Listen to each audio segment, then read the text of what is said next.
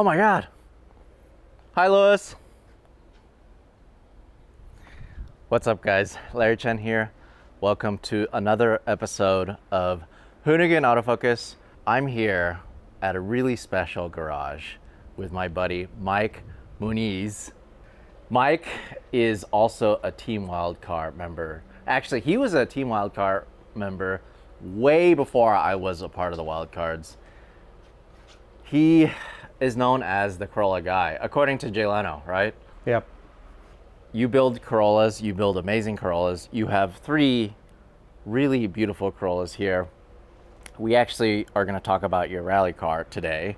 I actually had a chance to kind of see you at a local meet, and I'm like, hey, can I shoot some of your cars? I kind of wasn't ready for this kind of quality and this craziness. I don't even know how to explain it. I mean, I just walked in here and my jaw dropped. What is th- this thing? Tell me about this. This is a 1973 Toyota TE27 Corolla. This has had several iterations. It's been a road car, a drag car, slalom car, circuit car, and a rally car. So in its current form, it's an FIA certified rally car. Okay, all right. I don't even know where to start. So, FIA certified, so you actually can compete in rallies with this car. Correct. Everything in this car, seats, seat belts, um, cage, everything has been certified uh, to be able to compete in the world stage of rally. Oh my god. Okay, so what what is this? Why does it say TRD factory here if you built it? Yeah, so this is um, 90% of the parts that are on this vehicle are TRD parts, uh, including this very rare TRD 152E race engine that is actually no longer made. Uh, it never came in any vehicle. It wasn't a production engine. It was built specifically by TRD to be competitive in racing events. It's a dry sump engine. It was a flat, flat slide injected system before, and now I'm running uh, twin 48 side draft DCOE Webers. It's just better for rallying. Uh, it doesn't have to be full all out all the time. It has to have mid-range and low end. It has a five-speed W58 close ratio transmission in it, a 411 TRD rear end posi traction, long throw extended uh, front adjustable struts, uh, one-piece fiberglass rear leaf springs, uh, you name it, everything that you can put in a car to be competitive is in here. 7311. So this is not actually built to be a show car. This is actually something that you're going to race. Yeah, just like a lot of my uh, wild card buddies, uh, we build cars to be driven, driven hard. As a matter of fact, the side effect is just it looks like a show car. It really was not built to be a show car. Uh, it's built so that it's quality, and that's why it looks like a show car. It's built uh, for quality so that it would last long and it would be competitive. Okay, so the crazy thing to me is that you build these cars in this garage, in basically in this two car garage.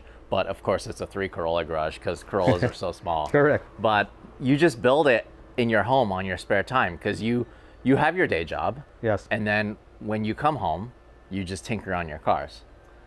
Yeah. So uh, I'm one of the ones that are lucky. I only need four hours of sleep. So when I get home, I come straight to my garage. I uh, sometimes eat my dinner here in the garage. Fortunate enough, my wife uh, is really cool about this, and she knows that this is how I unwind and I kind of like.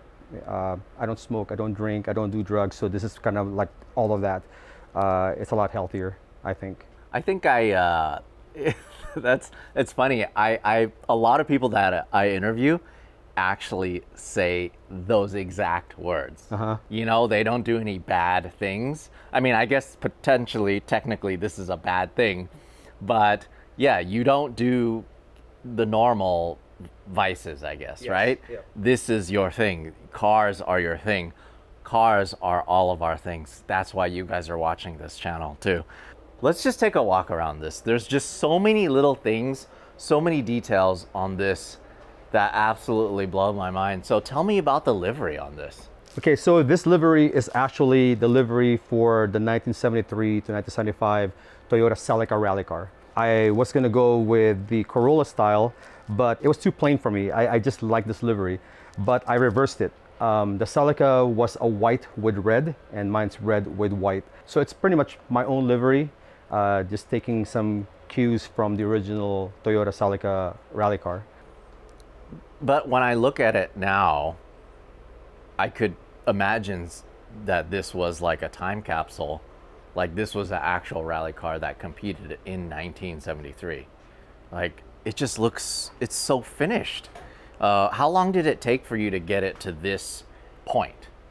So I've had this car since 1988, and um, like everybody that fixes their cars up, they say it's never done. I'm pretty close to being done. I, I'm probably 10% from actually being complete. Uh, so it's taken that long to finish it. I'm pretty happy with how everything's turned out. Just need to do a little bit more tuning uh, with the carburetor. Other than that, it's it's pretty much there. Every little thing. I mean, like, like the tires, are those paired correct also? Yeah, so those are uh, gravel uh, tires for rally, and the extra ribbing on the side is actually to prevent it from getting punctures while you're sliding on gravel roads. Um, it can also be used on um, grass. Uh, it's not really optimal for tarmac. I have tarmac uh, wheels for this one, which is like sitting over there uh, with the TRD uh, wheels on them. Um, so, but these are very hard to find TRD rally wheels. These are actual rally wheels from Toyota Racing Development. And this was available in their catalog from 1971 to 1986. So uh, nowadays you, you really can't find them. Of course, I had it powder coated white because that's just how it is in rally. You like you want to see your wheels white so you can see any uh, of the cracks or flaws. Um, so that's why it's white. Uh, they looked brand new. They look like new old stock. So, and all of this, this is all TRD, huh? Yes. All of these things. Yes, these are these are uh, actually these are um, original for the Toyota SR5 1974 US model, but it came in all uh, TE27s from 1971 to 1974 in Japan. The Levin, the Trueno, like these right here, and like the one over there. Those are standard issue. Uh, they do have them wider, um, but this is exactly how they had it when they were building the rally cars back in the day. This is why they call you the Corolla guy. you you know everything about these cars, and like even these mud flaps, these are actual TR or are Yes. these these are actual TRD. Those ones. are new old stock uh, TRD mud flaps. Uh, they're aluminum plus rubber. Um, yeah, those were really tough to locate. I knew somebody that had one. It was installed in his car, and I kept on telling him, "Hey, can I buy it? I just really need it for my vehicle. It needs to be period correct." He had a, um a newer version car, so he finally decided, "Hey, maybe it's time to let go of it," and now I have it. So, but that that's kind of the theme around the car, right? Even like this is kind of like a mud flap too, right? I think you were explaining that this is for uh, when you're actually going through water. Yes, so they call this the front mustache uh, mud flap. And typically, when you are doing like a rally, uh, like they had a wet safari rally one year, and each time you go through a stream or through a, a puddle, the water and mud will splash over the bumper onto the windshield, so it's kind of hard to see. This one, it actually directs the mud and the water underneath it, so it exits to the side of the vehicle and it prevents it from getting on top. Some mud, some water still gets on top, but uh, the majority of it is actually pushed away by this uh, mustache mud flap.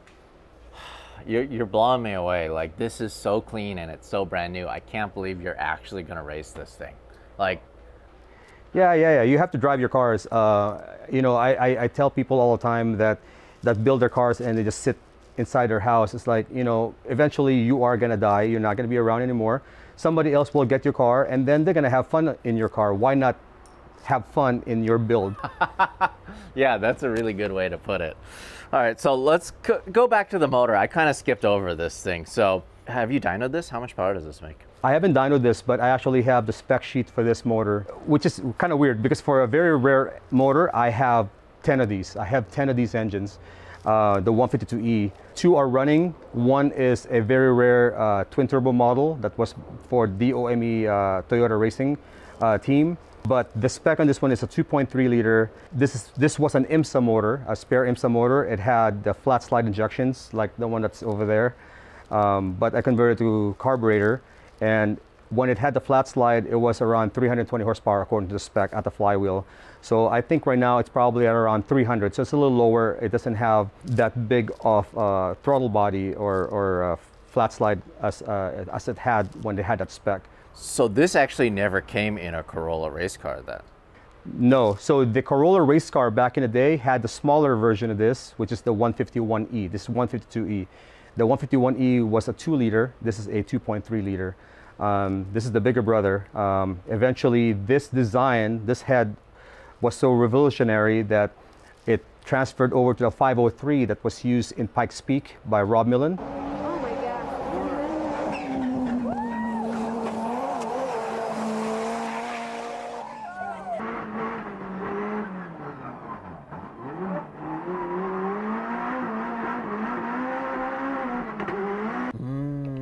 The 900 horsepower uh, monster.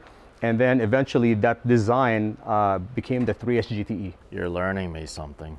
See, I, I consider myself a Toyota guy until I met Mike. Now I know I'm just a guy. this is just so crazy. Okay, let's look at let's check check out the rear. Can we check out the rear here? Oh, 11 rally. Amazing. I mean, just the fact that you're getting all of these badges and all of this stuff is all of this new old stock or did you restore all No, these are restored. Um, these are restored. I didn't want to waste a new old stock on a car that's going to be pretty much trashed around. So this has been restored. I cleaned it up. Uh, a friend of mine, PJ, actually painted it. And uh, yeah, got the CB antenna here. Um, mandatory for any old school rally car. I have a working CB in the vehicle.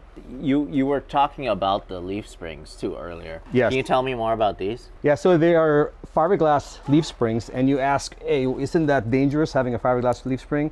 Uh, actually, no. So this one's tensile strength is the same as a, I would say, carbon fiber uh, suspension component.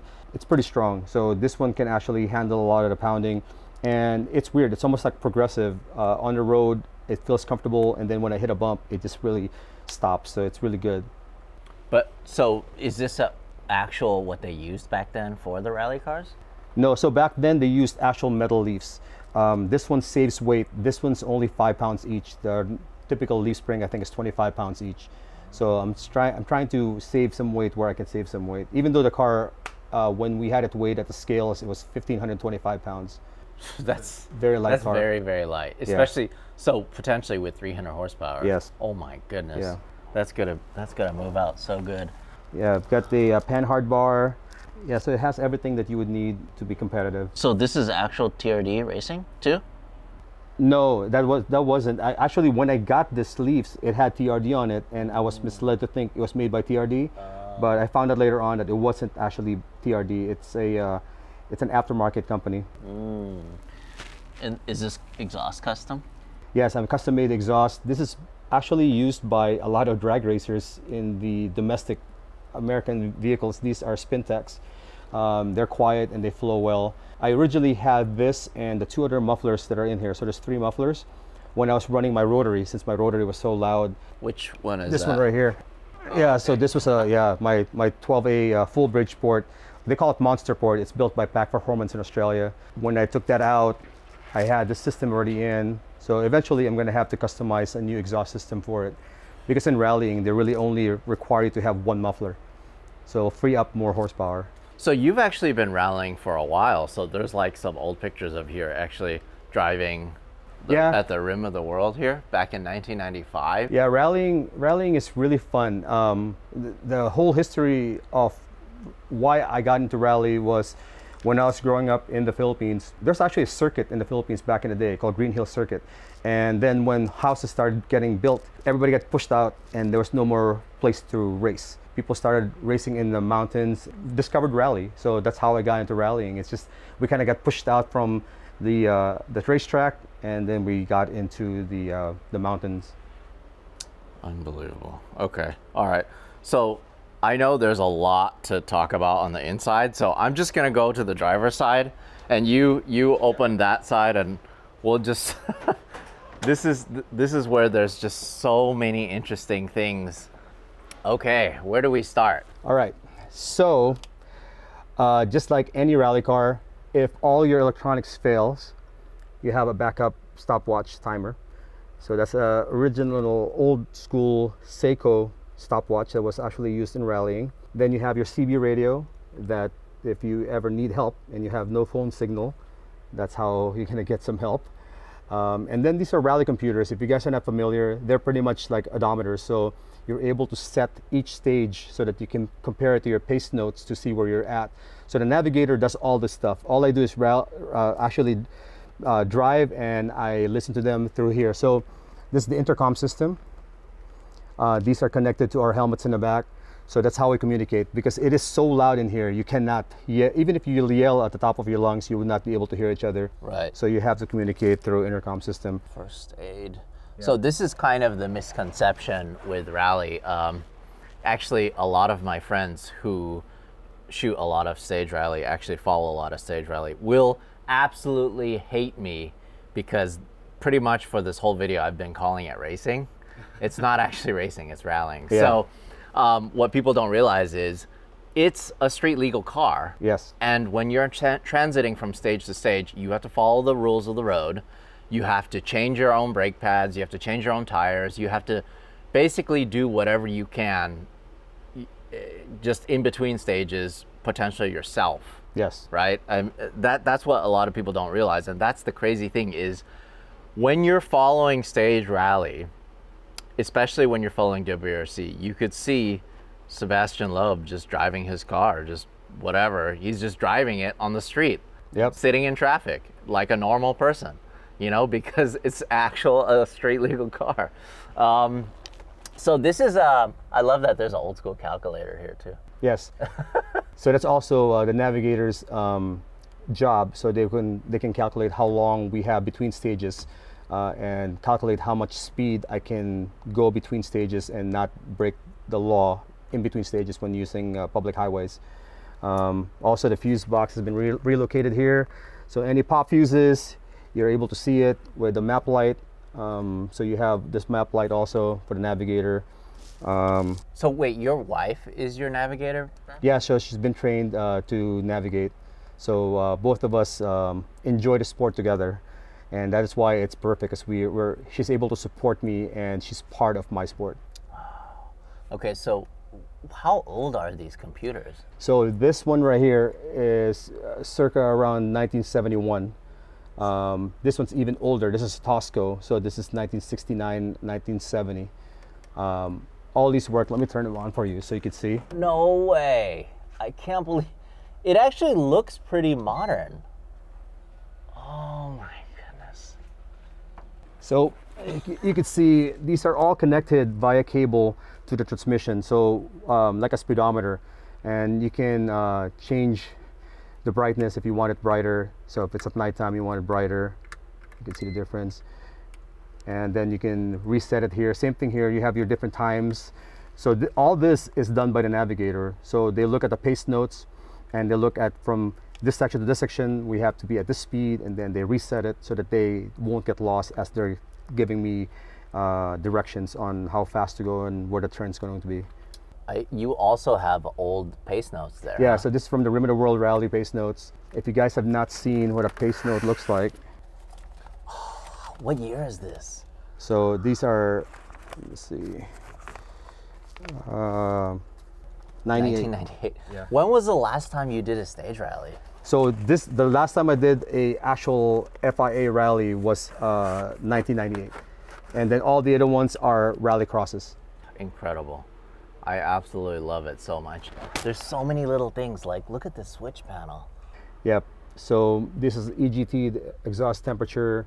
Um, this switch right here, um, before you start off, start this engine, it's a, um, a dry sump. You have to prime the oil, um, very important, or else you're, you're gonna starve the engine. Uh, these are old school TRD um, sunshades that were so hard to find. But it's crazy because between this and just the normal, if you made it yourself, Yeah. you wouldn't be able to tell. Yeah, you wouldn't be able to tell. But, you know. But you would know because of this uh, this piece, aluminum piece that's riveted onto this uh, plastic. Yeah. and even this, this is a, uh TRD cage Yes. too. A real TRD cage. Yeah. Wow. So did I just I don't even there's just so much to talk about. I mean like so we had a chance to go to STI in Japan, and we had a chance to check out um, like the GC8, Colin McRae, his actual rally car, and you know, there's so many things with rally cars that you could see it's similar. You know, everyone has to just have these certain things. And it's so cool to see period correct in, in this era, just the, the way that you put it all together. It's Yeah. really, really awesome. I mean, it, it, but like these seats are brand new though. Yeah, right? these are brand new. Uh, that's because of the FIA certification. You have to. There's expiration dates on seats and seat belts. So these are brand new uh, seats and seat belts. Uh, thank you to OMP. They hooked me up with this. Also, the steering wheel was by uh, is hooked up by OMP. Yeah. But it, it still has that old school look though. yeah, so this- these are WRC rally seats. So they're actually rally rally car seats, um, and I was not sure if it was gonna fit, uh, but it, it fits just right. Um, there's just a lot of like odd stuff. Like um, I know that nowadays rally cars have very long shift shift uh, sticks and and uh, e-brake. This one's still the old school cable uh, handbrake system, and it has the very short throw TRD uh, shifter. That's second, third, fourth. Yeah, so everything is like a short throw. So is this like a thing where you could lock it? You don't have to push this? No, so this is still the old school. You still have to push the button. Oh, okay. To slide around a corner, you have to clutch in and pull that. Oh. Okay. I mean, just every little thing. Like, I just love all of the. I love the that Technocraft Yes, jacket too. Yeah, the- so the that's shirt. my that's my race suit. It's Oh, uh, really? Yeah, so that's actually a one-piece race suit. Um, Technocraft is a predecessor of Tosco. Uh, so before, way before TRD. So uh, yeah, that's an actual uh, race suit from uh, Technocraft. Um, you've got all these little things on here. You have this thing that Yeah, that's what you use to in case you. yeah, you break the glass, and then you can also cut your seatbelt uh, if it's jammed up. Um, you have the first aid kit there. You have uh, more pace notes on that door. So everything is everything's here. Oh, amazing. Just incredible. I absolutely love this build so much. Ah, this is really cool. Tell me about the lights pod system here. Yeah. So the IOD um, Cibie lights are um, kind of hard to find now. These are these are new old stock. Um, a lot of the off-road lights now are LED. These are still um, they call it IODs, where that's H4, H7s. Same thing with with these lights. I Yeah, know everybody, SCV, yeah, right? everybody loves those lights. Yeah, I love them. They look so good. It's it's uh yeah. So the lights are pretty standard for an, a 70s and 80s rally car, and then they have a bash plate underneath. Uh, of course, any anytime you have you rally, you have to have a bash plate. The suspension, all of it, brakes, everything just looks brand new.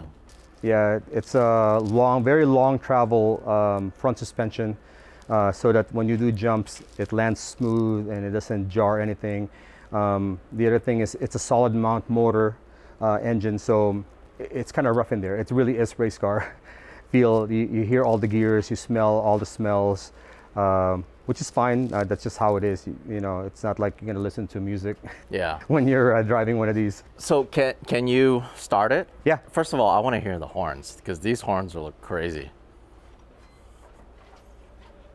It's old school Bosch horns.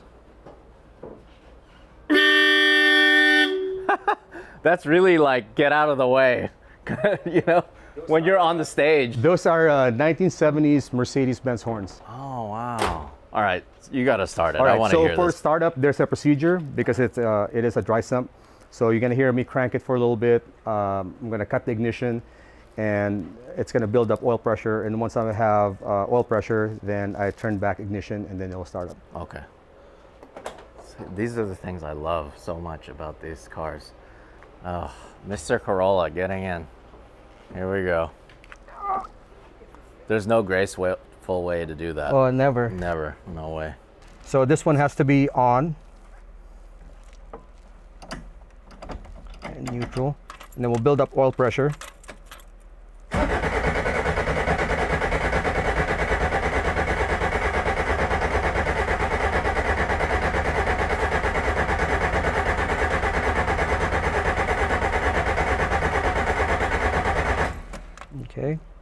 This off. Give it a little gas.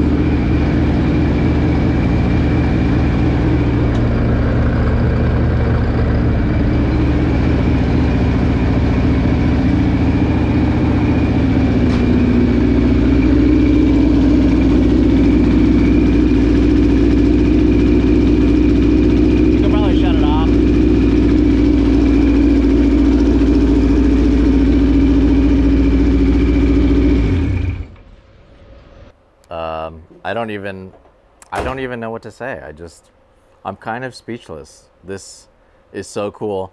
I actually can't wait to shoot this in the dirt. Yes, me, me too. Yeah, I would love to see this in the dirt. When do you think you'll start competing with this? Um, so I'm trying to get some um, paperwork done with another organization um, so that I can actually get this back on the street. And then once that's going, I'm going to look for uh, some local autocross or rallycross actually, and uh, compete in those first. Get get it tuned, get the suspension tuned, get the carburetor tuned, and then um, we really, my wife and I really want to take this to Monte Carlo because we, we were already uh, we were already invited two years ago, but I wasn't able to get the car done by then. So it's gonna compete in the uh, Monte Carlo de Classique. It's uh, the classic rally uh, for Monte Carlo. Yes, I would love to see that. Uh, I can only imagine. I mean, okay, so I've had a chance to shoot WRC a couple times now, and the classic cars, those are, while they're maybe 10 times slower than the new cars, Yeah, I don't care because they're just so dramatic when they come in. yeah, You know, when they come to the corner, you're like, oh, like it's like slow, but they're still pegged yep. and they're going as fast as they can go. But it's just so cool to see these classic cars like Lancias and um, Audi Quattros and Yeah. just all of the older cars. Seeing this Yeah. along with them. Yeah, what be people don't understand is that so the the older rally cars don't have any driver assistance. Everything is driver skill. You have you do not have ABS, no traction control. Uh, you don't have a long hydraulic handbrake. Um, so everything is actually with the driver. Uh, he has to be able to manipulate the weight of the vehicle to make it turn and to make it uh, last and actually not crash. Does this actually have a rev limiter? Yes, it has a rev limiter. I'm running, um, if you look over here, this is another thing that was really hard to get. This is uh, Tosco ignition module. This is pre-TRD. This is 1970, and it had a built-in rev limiter in it.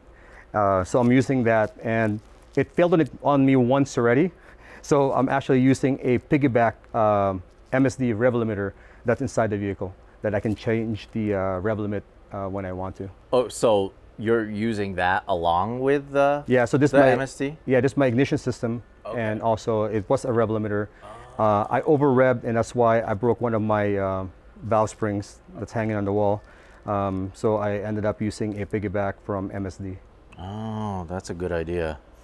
Just just the little amount of revving that you just did right now, I can't believe how much heat it produces. But uh, it's incredible. I mean, so did you did you make those headers? No, so these headers are actually from. Um, I'm, I'm not sure if it was actually from TRD, but this came from Toy Sport. Yeah, and um, Yeah, they're like a Southern California Toyota experts, I guess. yes, Yeah. Yeah, and then the bottom half uh, I made myself. Uh, that blanket was actually sponsored by um, a company that makes uh, blankets for Subarus. Love it. And I the love reason why- this heat shielding. And the reason why it sounds like there's exhaust leak, and it, it does. Um, the exhaust is in four pieces, and they're all um, secured by springs. Um, and the reason they do that is um, this engine does have a lot of expansion, and if you had one solid, um, um, what do you call it, uh, flange or manifold, uh, it will crack the head. So it has to be separate, and also um, it has to be able to be serviceable, so you can undo the springs, take the headers off, take the motor out. Got it. So many things about this thing is just Yeah, so the cool. dry, dry sump system. This is where all the oil goes. Um, it's not running synthetic oil. Uh, I was told not to by uh, my friends at TRD. Uh, they said run regular oil in it. It's 240, uh, 2050. I'm sorry, 2050. Well, I don't know how much more detail we can get into this thing. I really do appreciate you letting us come to your garage and shoot your beautiful cars. Uh, this is so cool. I think that's a wrap.